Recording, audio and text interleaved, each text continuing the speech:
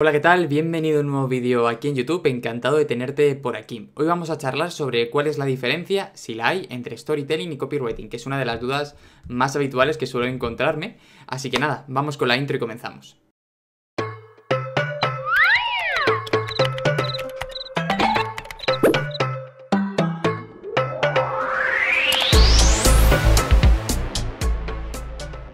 Vale, ya estamos por aquí. Eh, vamos a empezar definiendo qué es el storytelling para ponernos un poco en situación, porque veo que muchas veces hay dudas, hay preguntas, hay cuestiones que se quedan sin resolver y simplemente yo creo que viéndolas bien podemos hacer las cosas de una manera diferente.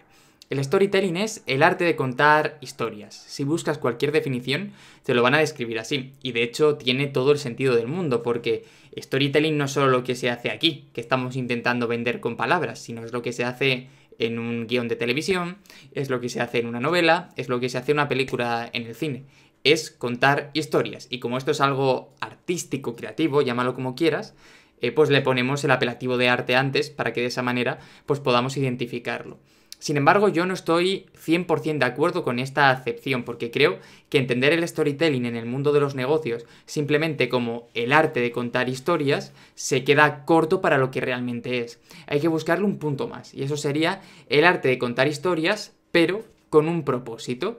Cuando vamos a contar una historia, no lo hacemos simplemente para entretener, para gustar, para que disfruten, que también, sino que lo hacemos para lograr una acción por parte de la persona que lo está viendo. Y este criterio, que parece una tontería, es realmente la diferencia entre un storytelling empresarial, llámalo así, bien aplicado y un storytelling que simplemente busca entretener. Cada uno tiene su función en un determinado momento, pero aquí donde estamos tú y yo, el objetivo tiene que ser escribir para vender y para ello el storytelling tiene que despertar una acción por parte de la persona.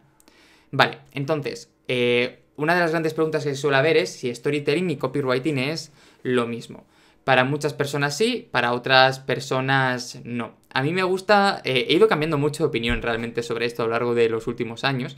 Y antes, hace, hace tiempo, cuando empezaba en el mundo del copy lo veía como algo completamente diferente. Pensaba en el copy simplemente como esos actos más de estructuras directas de para vender, pam, pam, pam. Y el storytelling lo veía como una diversificación, ¿no? Como algo diferente. De hecho, hoy en día puedes buscar perfectamente profesionales que te dicen que están especializados en uno o en otro. Sin embargo, en mi caso, con el paso del tiempo, cada vez lo veo como dos caras de la misma moneda.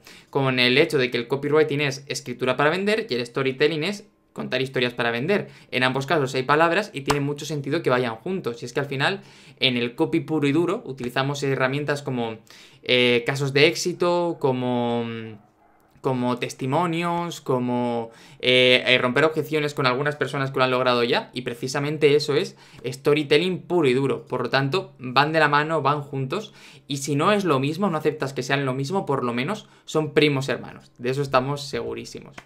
Entonces, eh, para contar una historia, si lo que quieres hacer, tienes que pensar, o yo te animo a pensar sobre todo en las grandes producciones que hay en, en Hollywood. ¿Por qué?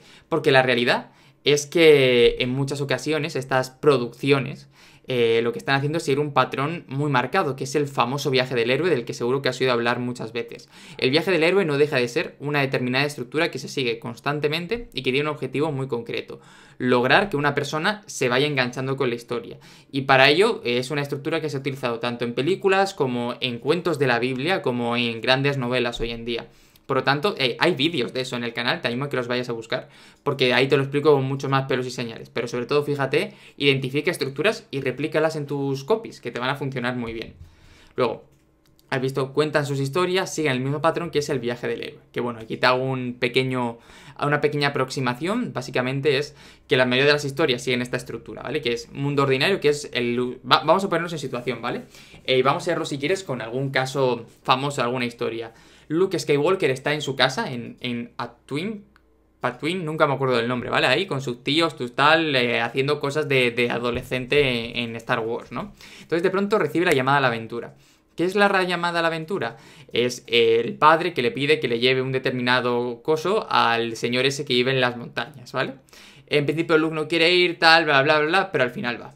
A eso es cuando se encuentra con el mentor, ¿vale? Ese mentor que de alguna manera le dice, oye Luke, que en realidad no eres un pringao como estás aquí, sino que eres el hijo de Skywalker y que tienes todo lo que tienes que hacer para salvar esta galaxia y vencer a Darth Vader. Y otro, bueno, no, yo para esto no, no me veo mucho, ¿no? Así que me voy. ¿Qué pasa? Que cuando vuelve se encuentra con que sus tíos han muerto, han sido asesinados y que ella no tiene nada que hacer. Por lo tanto, solo tiene una alternativa, cruzar el umbral. ¿Qué significa cruzar el umbral? Implica que cuando hagas eso ya no hay posibilidad de volver atrás. Automáticamente ya te encuentras en una situación en la que el pasado está muerto, por decirlo así, y a partir de ahora solo tienes esa vida que estás empezando a construir. A partir de ahí empiezan partes bastante más típicas. Pruebas que vas superando, encuentras aliados como eh, Obi-Wan o como eh, Yoda o como cualquier otro aliado que tiene y encuentras tus primeros enemigos a los que hay que derrotar. Tienes un acercamiento con el rival que normalmente acaba en derrota.